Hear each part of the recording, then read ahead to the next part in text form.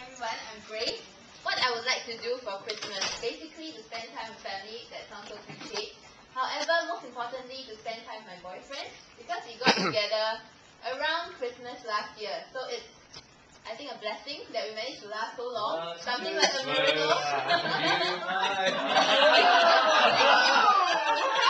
I got short of saying that, but yes, you get the idea. So it's awesome Christmas this time around.